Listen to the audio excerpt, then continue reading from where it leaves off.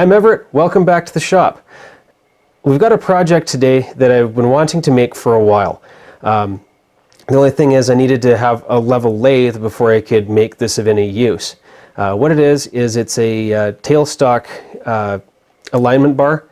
I know you can buy them. They're, well, in Canada here, they're, you're looking about 100 bucks for the, you know, the famous name brand one that everybody knows.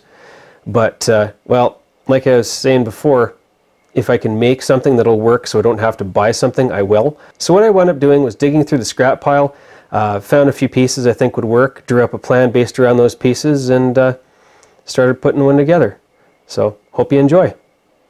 So part of the reason why I needed a new drive dog for the lathe uh, is this next project. Now that I have the lathe uh, leveled and straight, and I know that there's no twist in the bed, um, I'd like to make sure that the tailstock is properly aligned with the headstock before I can really trust that I can cut some bit, uh, decent journals and uh, decent tapers and be reasonably accurate.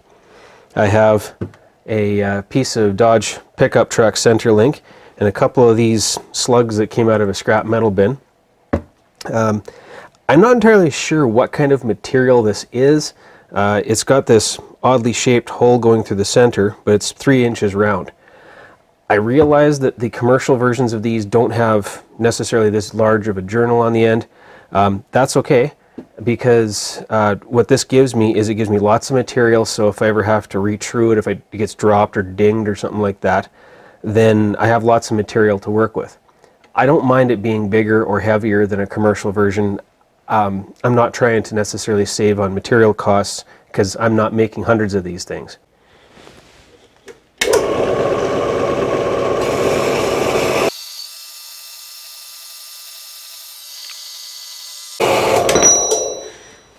Man, that saw has been handy. Yep, that is some of the best money I've spent in here for tooling, was buying that bandsaw. I think that's about as good as I'm going to be able to get for a uh, rough and uh, out of concentric surface.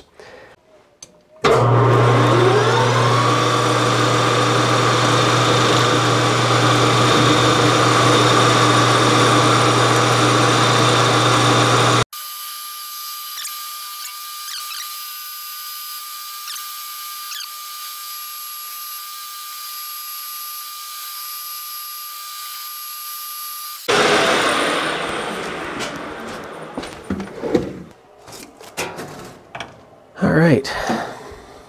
That's actually giving a nice surface finish. It just would be nice if it wasn't bird's nesting. 900 thousandths, 986.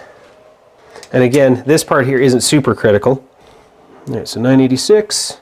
So we need 43 thousandths or er, on radius.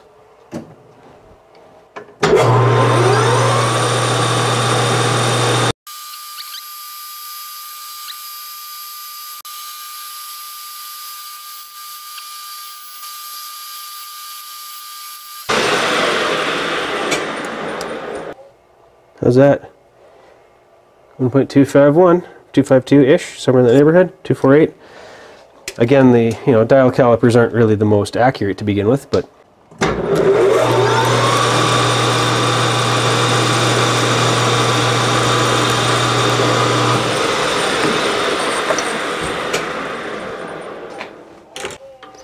center drill.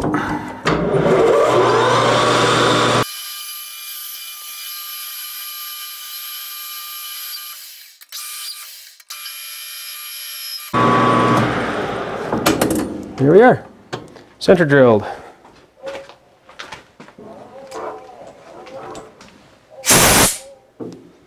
That will work just nicely. Now to flip it around the other end and clean up the other end.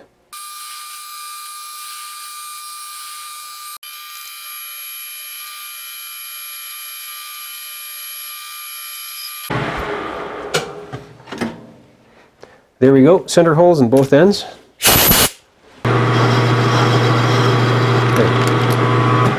Just so I don't scratch myself on it. Okay, next step is I need to set up between centers. Uh, I'm going to pause here and bring you back in at that point. I want to make things a little easier on myself, so rather than trying to size the bore here to the, well, to the shaft, um, I'd like to try sizing the shaft to the bores once these uh, two pieces are done. Uh, this is a piece of scrap, um, just like this one here. It's Buddy. They are going to become the indicating rings on the ends of this bar. Uh, what I figure is because my nominal size for the bar is one inch, uh, 125 thousandths, I want to cut these about a thousandth uh, smaller, so it'll be one inch, 124.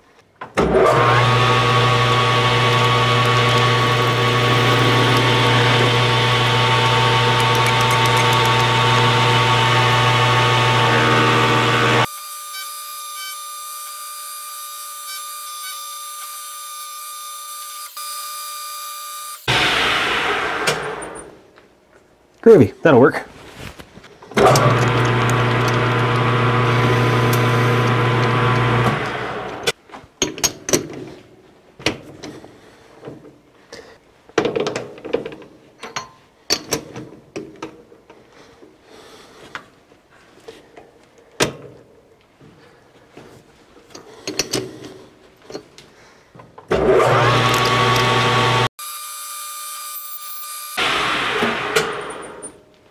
One it's 785. Need 185 thousandths taken off.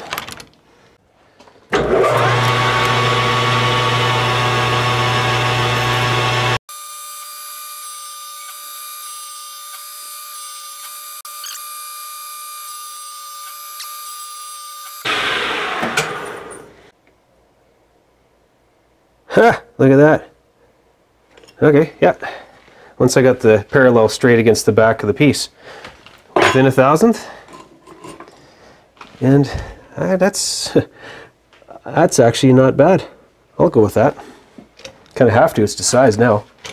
I've also checked uh, that there's enough clearance to the, uh, uh to the chuck jaws to be able to make a one and an eighth hole through this. so now it just comes down time to boring.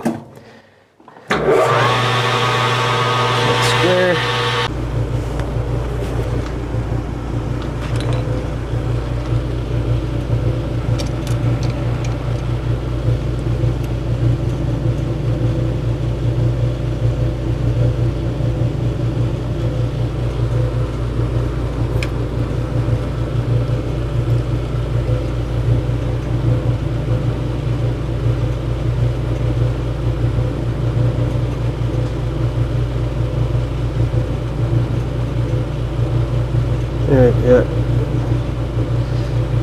One inch 123. I'm gonna call it there. So I have one that's uh, one thou over, one that's one thou under the uh, nominal. And that way, uh, it makes it nice because this way I can size the shaft to each of the rings. So pop this out of here, get the shaft in here. So we have our piece of uh, bar set up between centers. The headstock on this unit is a Morse Taper 5, so I'm using a Morse Taper 5 to Morse Taper 3 adapter um, and a long reach Morse Taper 3 dead, or well, drive center I guess in the center. Got our lathe dog on and what's nice actually is as I tighten down and this ring moves uh, that way, it helps to offset the weight of the uh, dog, uh, dog leg there. So it, yeah. Now before I start getting flame mail about having the uh, live center in here instead of a dead center because I've been told dead centers are more accurate. I'm only using this until I get the um, discs, or well, hubs, I guess if you will, mounted on here. And then once I get those mounted on, then I'm going to do the final cutting on dead center. Well, I let the indicating rings cool off a little bit, and then I remeasured them before I started before I start cutting the shaft. And they both shrank by a few thousandths. So these are these are the inside diameters of these uh, indicating rings. Not a big deal. I can adjust the size of the journal to suit. This is why I did the bores first. We're going to shoot for the big one first. Uh, that way if I miss, I can use it for the small one. We have approximately 63 thousandths to come off.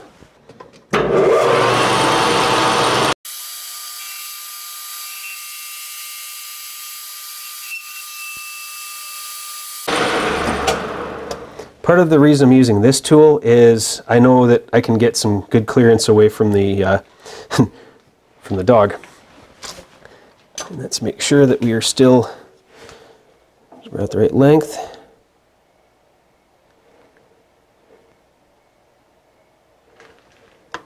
Yeah, if anything, it could probably come out this way a little bit more.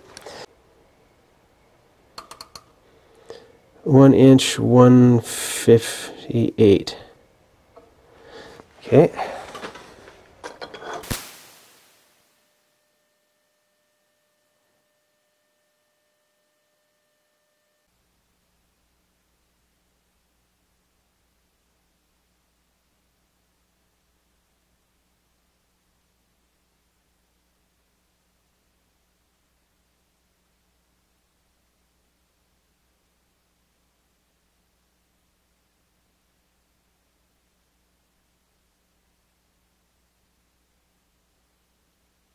I had to readjust the angle of the compound because otherwise it was interfering with the uh, tailstock.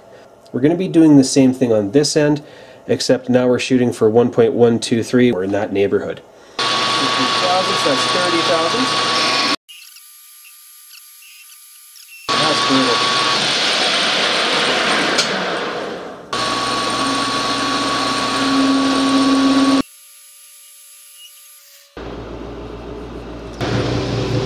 Wow, there's chatter in that. Whoa, brutal.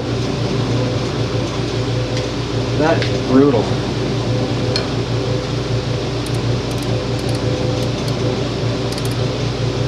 And they're still oversized. Okay. One inch 126 and a half. I think it's time to try out something new.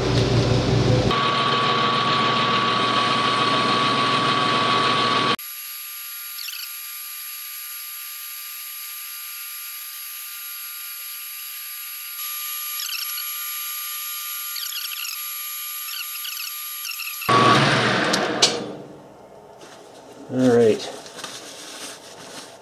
That's significantly better than what we had.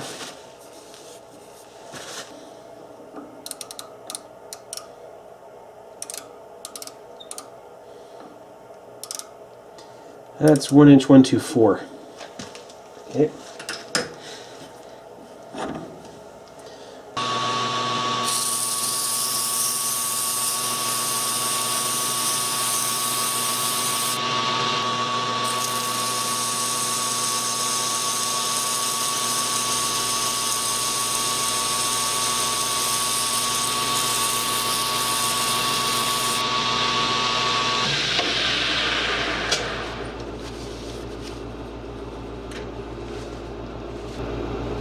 You go, one inch. 120. Still got a bit of warmth to it. It says one inch, 123 and a half. I'm gonna leave that. Like chamfer. And I do believe our shaft is done.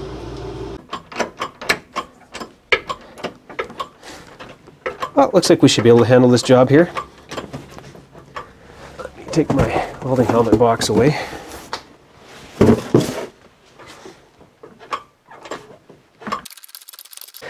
Uh, I don't see the, yeah, I don't see those beams across the bottom deflecting too much or anything yet. There we go, we're home. Nice. I'm happy with that. So now comes the other ring. Really? Oh, right, okay. Start with that.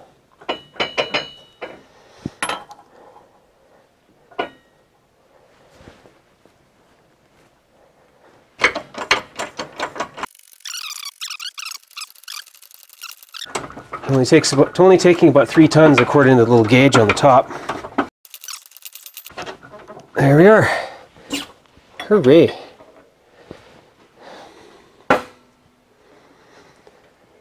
Oh. There we are. She's assembled. Now I can start cutting the final diameters.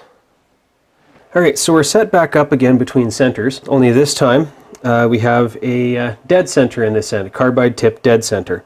I have to lubricate this tip, being a dead center. For the length of time we're going to be doing this, that should be enough. I'll just reapply every now and then.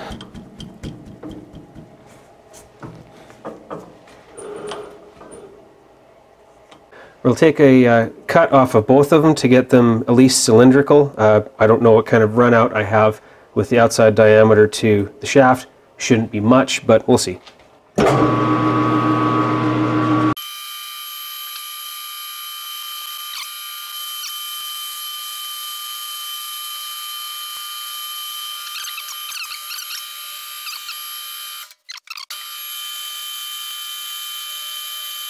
That's getting a little too close for my comfort. I got to figure out something else with uh, tool positioning. Getting a little close for my comfort toward that headstock, or toward the dog. All right, two inch, 980.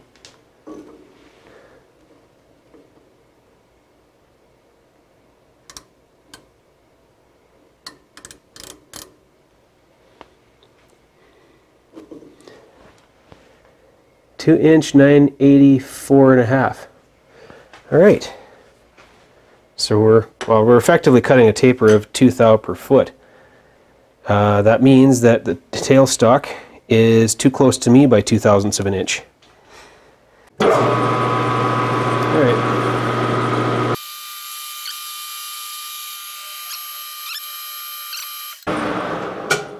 this side here was about four and a half thousandths smaller than this side. Uh, I need to move it that way about two thousandths of an inch. So to do that, unlock it at the back here, unlock it, loosen off this side here, just a smidge. Then as we tighten on the back side here, it'll pull the tailstock that way.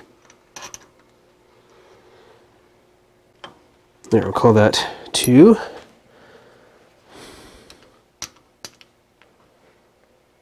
snug, snug the lock. All right, so let's give this a try.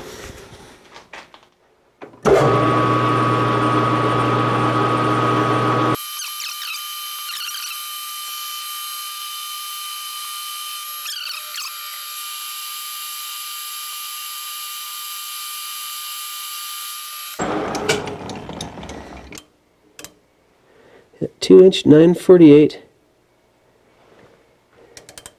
yeah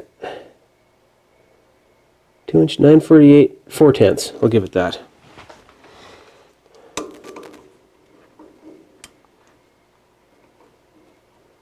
Need to be able to see the vernier scale.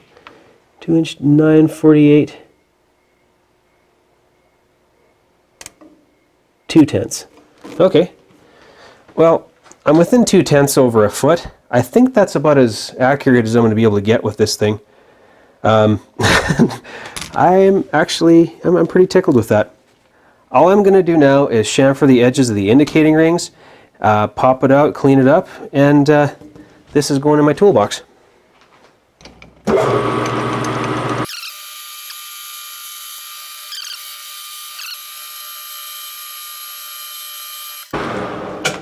Yep, I'm satisfied with that. All right.